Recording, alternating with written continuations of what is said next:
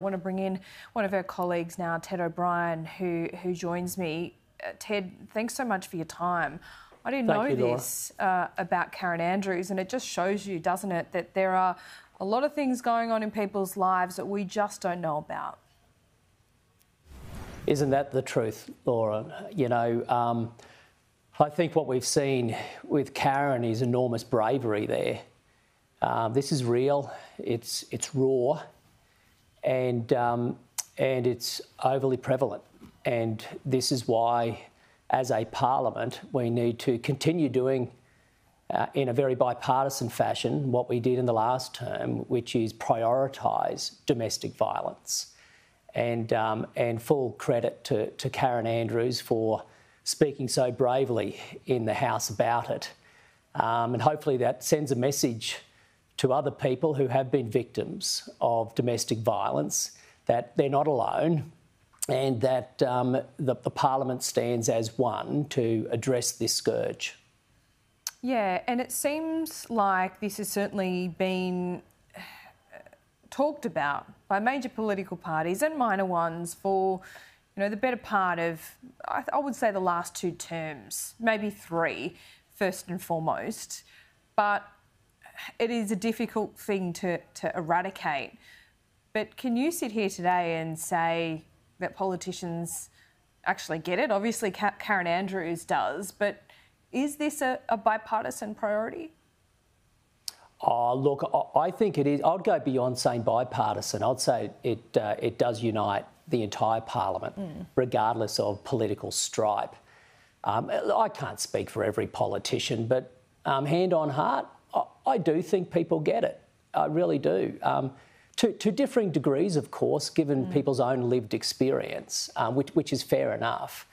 Um, but certainly in my time here in the Parliament, I have only seen an enormous amount of goodwill uh, among all parliamentarians when mm. it comes to, to tackling this one. That said, um, when you look at things like domestic violence leave, which there was a bit of a debate around, uh, seeing Karen Andrews today makes you think, well, it's such a minor thing to, to pass domestic violence leave. Many in your party didn't support it. Was that a mistake? Oh, look, uh, you know, the, the, party and individuals take positions for, for different reasons, and it's not for me to, to sort of, you know, double guess that. Um, I think one of the things that you said there is, is something we need to um, really um, leverage, and that is we're speaking about this. And over the last, probably the last decade, um, not just as a parliament, but as Australians, we are speaking about this. For too long, um, domestic violence was something that went, went unspoken. Um, but now uh, we are trying to grapple with it. Uh, there are no easy solutions. But the, the starting point must be a, a very united focus on, on tackling the scourge. It's what we did in government, and I think the expectation will be that that's what the current government does. Um, and again, full credit to Karen Andrews for uh, speaking out um, so powerfully, I thought, in the Parliament. Indeed. Let's talk about two reports out today that we should take notice of. One, the OECD warning that we are in the worst energy crisis since the 1970s. At the same time, the CSIRO says Australians are facing hotter summers, longer bushfire seasons, less rain, and more drought. So, sandwiched in the middle, uh, Ted, is climate change and how quickly we move to renewables and how much it will cost. So, where do you sit between those uh, reports. Um, renewables are the answer, but not right now. Is that your position? My position is that we need a balance. And if we are to have an orderly transition to a decarbonised economy, you have to get things balanced. Um, otherwise, either prices skyrocket or you keep prices at an extraordinary low, but you don't decarbonise the economy. It's an ongoing balance. Um, I, I, read the OECD report. Um, I know the, the CSIRO. I've read the reports this morning just in the newspaper. Um, this is why we have a choice as a nation. Either we take a balanced, orderly approach to decarbonising the economy, or we go down the path that Labor is now setting us on which is a disorderly path which is leading to skyrocketing prices, a grid that is wobbling and is not reliable, and we don't even know if it's impacting on emissions. Now, this is a very different approach to that which we took um, as a government.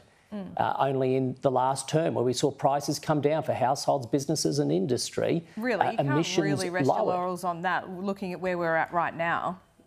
There's, there's, there's no resting of laurels, and nor should there yeah, be. But, um, but, but, uh, but, but, the Ukraine to, war started of, before the election. We could have seen where yes, this gas crisis yes, was did. heading. It, it, it, indeed, the, the Ukraine war did start, uh, you're right, before the election. And all through that time, as that tragic war raged, the Labor Party looked the Australian people in the eye and promised them that they would reduce power prices. For households, $275, their bills would come down. Now, that was in full knowledge of the challenge of the international crisis um, that we're seeing in energy, that was in full knowledge of the challenge here in Australia. Labor promised they would get prices down. Mm. They have failed. Um, and they continue to fail because they have this extraordinary speed and scale of a renewables rollout, while at the same time killing off gas and welcoming a premature closure of baseload power. Again, you need to get the balance right. Um, renewables are important, but we need to set them up for success, not failure. Labor's setting them up for failure by killing off gas and having the premature closure of baseload power. Okay, Ted O'Brien, we'll have to leave it there. We'll check in soon. Thanks so much.